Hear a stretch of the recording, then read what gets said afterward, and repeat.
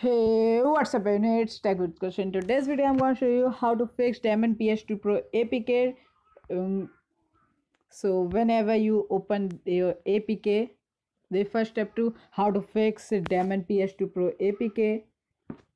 Whenever you uh, click on this uh, install button, it shows this. So now second step to how to fix uh, Damon PS2 Pro APK is download this app APK Editor Pro. So it's third step to open it. It's third step to how to download um, how to fix ps2 pro um, damon ps2 pro apk then click on select an apk file.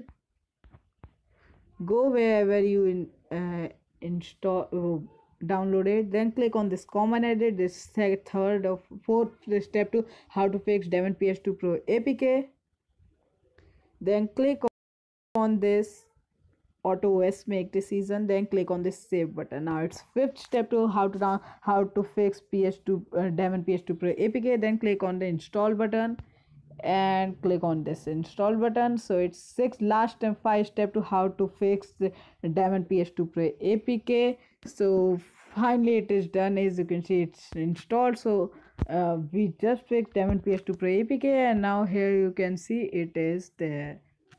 So thank you guys for watching this video. Diamond PS2 Pro APK I enjoyed a lot this app. This app's too good